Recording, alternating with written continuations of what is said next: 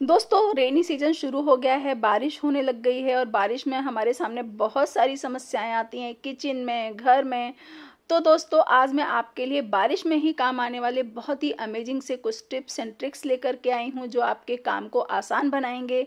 आपकी रोज़ के कामों को सरल बनाने वाले टिप्स लेकर के आई हूँ। तो नमस्कार फ्रेंड्स मेरे चैनल पर आप सभी का बहुत बहुत स्वागत है। आगे बढ़ने से पहले आपसे एक विनम्र रिक्वेस्ट है कि प्लीज़ मेरे चैनल को अगर कोशिश पसंद आ रही है तो प्लीज़ मेरे चैनल को सब्सक्राइब कीजिएगा लाइक कीजिएगा शेयर कीजिएगा। तो दोस्तों, पहला टिप है, हमारे घर में बहुत सारे इस तरह के मसालों के डिब्बे हो जाते हैं इकट्ठे। हम अलग अलग तरीके के लेकर के आते हैं और उनको रखना एक बहुत बड़ी चुनौती होती है। अगर आप इन्हें अलग अलग डिब्बों में रखते हैं तो बहुत सारे डिब्बे हो जाते हैं। तो इस तरह का एक बड़ा डिब्बा लीजिए और उसमें सारे इनको रख करके ना बॉक्सेस को आप डब्बे को बंद कर दीजिए तो एक जगह आपके सारे मसालों के डिब्बे इकट्ठे हो जाएँगे। नेक्स्ट पे दोस्तों अरबी को लेकर के, अरबी इस समय बहुत अच्छी आती है। एक्चुअल में अरबी जो है बारिश की ही सब्ज़ी है, लेकिन इसके साथ समस्या क्या होती है? जब हम लाते हैं तो ये पानी, बहुत सारी समस्या ये होती है कि ये जब हम बाज़ार से लाते हैं ना तो मिट्टी में लिपटी हुई होती है। और अगर आप इसको गीला ही बहुत दिन तक छोड़ देंगे ना तो फिर ये ख़राब हो जाती है। ब्राउन ब्राउन सी हो जाती है, सड़ जाती है अंदर से। तो इससे बचने का उपाय क्या है? आप जब भी अरबी को इस बारिश के सीज़न में लेकर के आएँ तो इसको धो लें, साफ़ कर लें और फिर बॉईल करके प्रेशर कुकर में रखकर दो तीन सीटी लगा दीजिए। बॉईल करके आप इसको रखेंगे ना तो आपकी अरबी आराम से 10 दिन 15 दिन चल जाएगी। आप इसको फ्रिज में रखिएगा और फिर जब सब्ज़ी बनानी हो तो बना लीजिएगा। नेक्स्ट टिप है दोस्तों कि इस तरह के लिड हमारे घर में होते ही हैं और बारिश के मौसम में ना इनमें लग जाती है जंग। अब इस जंग लगे ढक्कन को हम रख तो सकते नहीं है मतलब यूज़ नहीं कर सकते। तो इसको कैसे साफ़ करना है कि इसमें जो होल होता है ना, उसमें आप सिल्वर फॉइल लगा दीजिए और इस तरह से इनो डाल करके ना आप इसके ऊपर गर्म पानी डाल दीजिए। दस मिनट के लिए छोड़ दीजिएगा और फिर आप जो टूथब्रश होता है उससे साफ़ कीजिएगा। उसके बावजूद भी साफ़ साफ़ नहीं होते, इसके ऊपर थोड़ा सा पीताम्बरी डालिए और लोहे का ब्रश लीजिए जो हमारा तार वाला ब्रश होता है ना, उससे आप इसको बहुत अच्छे से रगड़िएगा। थोड़ी देर में आप देखोगे कि इसकी सारी जंग खत्म हो गई है और ये देखिए, मैंने इसको रगड़ दिया और मैं इसे साफ़ करके लाई हूँ। आप देख सकते हो कि इसकी पूरी जंग खत्म हो गई और अब हम इसको आराम से यूज़ कर पाएँगे। नेक्स्ट टिप है दोस्तों कि हमारे घर में लकड़ी के बहुत सारी चीज़ें होती हैं, स्पेचुला होते हैं, आजकल तो चकला है, बेलन है, बहुत सारी चीज़ें आने लगी कैस्ट्रॉल तक भी होते हैं, लेकिन बारिश के सीज़न में इनमें लग जाती है फफून जैसी, सफ़ेद सफ़ेद फफून जैसी लग जाती है, जो जबकि हम उसके साथ में यूज़ नहीं कर सकते।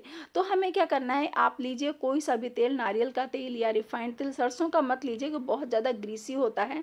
और इस तरह से एक टिश्यू पेपर से सारे जितने आपके लकड़ी के बर्तन हैं घर में, उन सबको आप अच्छे से ग्रीस कर दीजिए। हल्के हाथ से और बहुत ज़्यादा ऑयल नहीं लेना है, थोड़े से तेल के साथ में इसको ग्रीस कर दी जैसे कि मैंने ग्रीस कर दिया है। अब आप इसको रख दीजिए, ये आपके पूरे बारिश के मौसम में भी ख़राब होने वाले नहीं हैं। इस बात की गारंटी है। हाँ दोस्तों, अगर आप मेरे चैनल पर नए हैं तो प्लीज़ मेरे चैनल को सब्सक्राइब कीजिए, लाइक कीजिए, शेयर कीजिए। नेक्स्ट है दोस्तों कि हम जब भी इस बारिश के मौसम में हमारे घर मेहमान आते हैं या हम खुद भी खाते हैं तो खाते खाते खाते ही ना बिस्किट जो है वो सील जाते हैं। तो हमें क्या करना है कि इन सारे बिस्किट को आप एक डिब्बे में डालिए और उसके बाद में फ्रिज में रख दीजिए। फ्रिज में रखने से क्या होता है कि जो इनके अंदर का बटर होता है वो जम जाता है और इनकी जो क्रिस्पीनेस होती है वो बराबर से बरकरार रहती है। तो आप इसको अपना कर देखिएगा, बहुत यूजफुल ट्रिप है। नेक्स्ट ट्रिप है दोस्तों की बारिश के मौसम में फ्रिज वगैरह में जब हम एक लंबे समय तक साफ़ नहीं कर पाते हैं या कई बार ऐसा होता है कि हम बाहर चले जाते हैं और लौट कर आते हैं तो इस तरह की जो फफूंद है वो हमारे फ्रिज की जो गास्केट प्लेट होती है, उस पर लग जाती है। इसको आपको तुरंत साफ़ करना चाहिए, वरना ये इन्फेक्शन फैला सकती है। तो इसके लिए हमें क्या करना है कि पहले आप एक कॉटन का प्योर कॉटन का कपड़ा लीजिए, उससे इसकी जो फफूंद है, उसको साफ़ कर दीजिए। उसके बाद जो हमारे घर में विनेगर होता है विनेगर ले लीजिए, नींबू का रस ले लीजिए, उसके बाद इस कपड़े से आप इसको अच्छे से रगड़ के लगा दीजिए और उसके बाद 10 मिनट बाद फिर से आप इसको पहुँच देंगे ना सूती कपड़े से ही। पूरी जो फफूंद है वो गायब हो जाएगी। आप देख सकते हो जरा सी भी फफूंद नहीं बची। जो थोड़े बहुत मार्क रह जाते हैं ना वो अपने आप बाद में ठीक हो जाते हैं, दोबारा जब हम साफ़ करेंगे तो। नेक्स्ट है दोस्तों कि बारिश के दिनों में सबसे बड़ी समस्या होती है कि हम जो मसाले वगैरह ले के आते हैं, हम उनको रिफ़िल करते हैं। तो रिफ़िल करने के बाद क्या होता है, कई बार ना डिब्बे में सीलन रह जाती है या डिब्बा थोड़ा सा सील गया तो पूरा मसाला उसमें चिपक जाता है। कोई भी हमारी जो पिसी हुई चीज़ है वो। जैसे यहाँ पर हल्दी पाउडर है, मिल्क पाउडर है और धनिया है। तो मैं क्या करती हूँ, इस तरह से ऊपर से पूरा आप काट दीजिए। उसके बाद में इसमें आप इसको रख लीजिए, डब्बे में इससे डिब्बा भी ख़राब नहीं होगा और हम, हमें निकालने में आसानी रहती है। साइड में इसमें आप स्पून रखिए ताकि स्पून में भी मसाला चिपकने से बचा रहे। तो दोस्तों, ये सभी टिप्स बारिश में बहुत काम आने वाले हैं। आप ज़रूर से प्रयोग कीजिएगा, पसंद आए तो ज़रूर बताइएगा। नेक्स्ट टिप है दोस्तों, कि इस तरह आजकल ना हम जब भी कोई चीज़ फ़ूड ऑर्डर करते हैं तो इस तरह के प्लास्टिक के स्पून आते हैं। तो जब भी कोई भी डिब्बे में आप अगर डाल रहे हैं ना तो आप प्लास्टिक के इन चम्मचों का प्रयोग कीजिए। स्टील के चम्मच मत डालिए, क्योंकि एक तो स्टील के चम्मच डालने से उनकी संख्या कम हो जाती है और फिर ये यूजफुल रहते हैं, इनको आप निकाल के फेंक भी सकते हो। नेक्स्ट टिप है दोस्तों कि मैं आपको बारिश के मौसम में हमारा मन करता है कई बार चटपटा खाने का, लेकिन हमें हेल्दी भी खाना होता है। तो एक रोटी बनाइएगा, बहुत अच्छी और बहुत हेल्दी रोटी बनती है ये। जैसे कि मैं हमेशा बनाती हूँ बारिश के मौसम में, लौकी को ग्रेट कर लीजिए, धनिया, अदरक, हरी मिर्च, जीरा और हींग डालिए उसमें, और फिर उसमें डालिए थोड़ा सा आटा आटा धीरे धीरे करके डालिएगा एक साथ आटा डालेंगे तो पानी लगाना पड़ जाएगा। थोड़ा सा एक चम्मच बेसन डाल करके ना, हमें इस आटे को गूंद लेना है।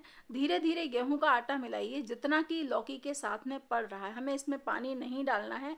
ये देखिए, लौकी के साथ में ही मैंने धीरे धीरे मिलाते हुए डो को तैयार कर लिया है और इसमें डाल दीजिए थोड़ा सा ऑयल।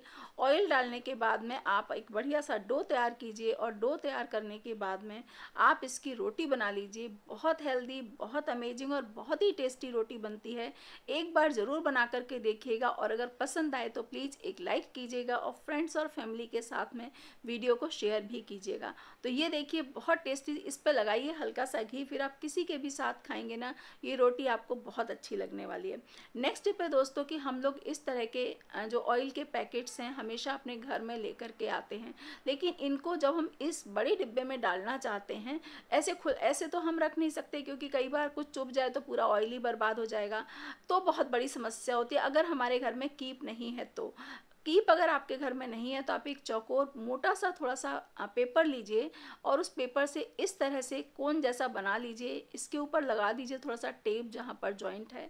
ऊपर से कॉर्नर वाला जो हिस्सा है ना, तिकोना सा जो दिख रहा है, उसे काट दीजिए तो ये एकदम से प्लेन हो जाएगा ताकि हमें ऑयल डालने में आसानी हो जाए। अब देखिए, इस इंस्टेंट कीप को हमने लगा दिया अपने ऑयल के डिब्बे पर और अब आप पैकेट को काटेंगे ना काट कर नाप लीजिएगा उससे पहले काटेंगे ना तो ये जो एक तरफ़ चौड़ी सी पट्टी होती है उस तरफ़ से हमें नहीं काटना है। हमें काटना है किस तरफ़ से? जिस तरफ़ से पूरा प्लेन है।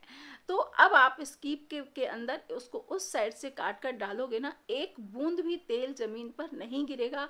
इस बात की गारंटी है। मैंने दो पैकेट डाले हैं दोनों पैकेट बहुत आराम से चले गए और कीप में ज़रा सा ऑयल आता है और आराम फेंक दीजिए आराम से। इसके बाद क्या होता है कि जब हम ऑयल डाल लेते हैं तो जो पैकेट्स होते हैं ना, उनमें थोड़ा सा ऑयल बचा हुआ रह जाता है। नीचे बचा हुआ रह जाता है ना, थोड़ा हमें लगता है कि थोड़ा बचा हुआ रह सकता है। तो उसके लिए आपको क्या करना है? देखिए, मैंने दोनों पैकेट इतने अच्छे से डाले हैं ज़रा सा ऑयल इसमें आया है तो इसको हम उठाकर फेंक देंगे। अब हमें क्या करना है कि एक लीजिए जिसमें आप ऑयल रखते हो, उसमें इन दोनों पैकेट्स को रख दीजिए। तीन से चार घंटे तक ना इनके आराम से, जहाँ से आपने काटा है, वहाँ से पूरा ऑयल निकल जाता है। नेक्स्ट टिप आते हैं दोस्तों। नेक्स्ट टिप है, आज मैंने बनाती हूँ, बताती हूँ आपको कि सिनेमन पाउडर इस तरह के पाउडर जो होते हैं, अगर हम बाज़ार से रेडीमेड लेते हैं ना, बहुत महँगे पड़ते हैं। और दूसरा क्या है, वो क्या मिला रहे हैं बाज़ार वाले पाउडर में, हमें ये कुछ पता नहीं रहता है। तो मैं हमेशा मोस्टली कोशिश करती हूँ कि जितने भी पाउडर्स हैं, उनको घर पर बनाया जाए। तो सिनेमन पाउडर बनाने के लिए, चूँकि इस समय बारिश का मौसम है, नमी आ जाती है, साबुत दालचीनी को आप ले लीजिए हल्का सा रोस्ट कीजिए, इसे ठंडा होने दीजिए, फिर छोटे छोटे टुकड़ों में काट लीजिए। काट मीन्स उसको तोड़ लीजिए। अगर आप ऐसा ही मिक्सी में पीछेंगे ना, पीसेंगे तो कई बार ना मिक्सी के जार के खराब होने की संभावना हो जाती है। तो आप देखिए कितना बढ़िया सा हमारा सिनेमन पाउडर बन करके हो गया है तैयार। अब इसे आप एक डिब्बे में भर लीजिए और फिर जैसे बारिश के दिनों में आप चाय बना रहे हैं या दूध है सिनेमन मिल्क बना रहे हैं तो उसके लिए आप आराम से यूज़ कीजिए। ये बहुत अच्छा और हेल्दी चीज़ होती है जो बीपी वगैरह को बहुत कंट्रोल करता है। तो ये देखिए मैंने डिब्बे में भर कर रख लिया। इस पर मैं लगा दूँगी लेबल लेबल मैं हमेशा टेप से लगाती हूँ। टेप को इस तरह से पेपर टेप जो आता है ना, वो लगाइए।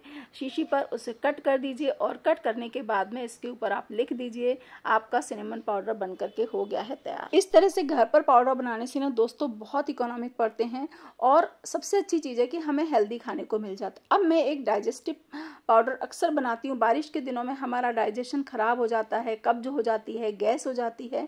तो मेरी मम्मी एक पाउडर बनाया करती थी जो मैंने मैं भी बनाती हूँ। तो आप लीजिए एक आ, दो टेबल स्पून के लगभग आप अजवाइन लीजिए। अजवाइन को हमें हल्का सा रोस्ट करना है। इसमें एक टीस्पून डाल दीजिए हींग। हींग को भी रोस्ट कर लीजिए। और जब हल्की सी ब्राउन हो जाएगी ना हमारी अजवाइन तो आप गैस को बंद कर दीजिएगा और इसको ठंडा होने दीजिएगा।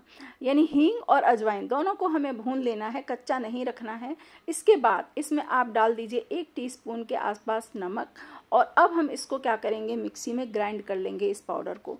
इस पाउडर को ग्राइंड करने के बाद में ना आप इसको एक शीशी में भर लीजिएगा। जब आप खाना खाते हैं, उसके बाद एक चम्मच बाद में पानी के साथ में खा लीजिए। आपका डाइजेशन गैस है, कब्ज है, सारी चीज़ें बहुत अच्छे से ठीक हो जाती हैं। देखिए, बाज़ार की महँगी महँगी चीज़ों को, दवाइयों को लेने से सबसे बड़ा नुकसान ये होता है दोस्तों कि हमारे खुद साइड इफ़ेक्ट होने शुरू हो जाते हैं। और ये जो घरेलू चीज़ें हैं, जो हमारी दादी, नानी सब लोग यूज़ किया करती थी, बहुत यूजफुल होते हैं। वो बात दूसरी है कि आजकल हम सबसे पहले डॉक्टर के पास चल देते हैं। तो मेरा डाइजेस्टिव पाउडर बनकर के हो गया है तैयार, इसको मैंने एक शीशी में भर लिया है। इसके ऊपर भी मैं लेबल लगा दूँगी और लिख दूँगी डाइजेस्टिव पाउडर ताकि कभी किसी को कोई, ले तो उसे गड़बड़ ना हो कि नहीं किसी सब्ज़ी वगैरह में डाल दे। हालाँकि सब्ज़ी में डालने से भी कुछ होगा नहीं, लेकिन फिर भी एक चीज़ों को सिंबॉलिक तरीके से रखना बहुत ज़रूरी होता है, ताकि घर में अगर कोई भी मेंबर ढूंढना चाहे तो उसे बहुत आराम से हर चीज़ अवेलेबल हो जाए और मिल जाए। अब नेक्स्ट टिप आते हैं दोस्तों कि बारिश के दिनों में इस तरह के जो हमारे पास नमक के डिब्बे होते हैं, चाहे वो काली मिर्च हो, चाहे वो नमक हो इनमें ना सील जाते हैं, सीलन आ जाती है। वो क्यों आ जाती है कि हम इनको खुला छोड़ देते हैं? तो यूज़ करने के बाद आप इसमें इस तरह से ढक्कन ज़रूर लगा इसको पूरी तरह से इसको घुमा दीजिए ताकि इसके होल बंद हो जाए और कवर लगा दीजिए। तो दोस्तों, ये थे मेरे आज के टिप्स जल्दी ही मिलते हैं नए वीडियो में।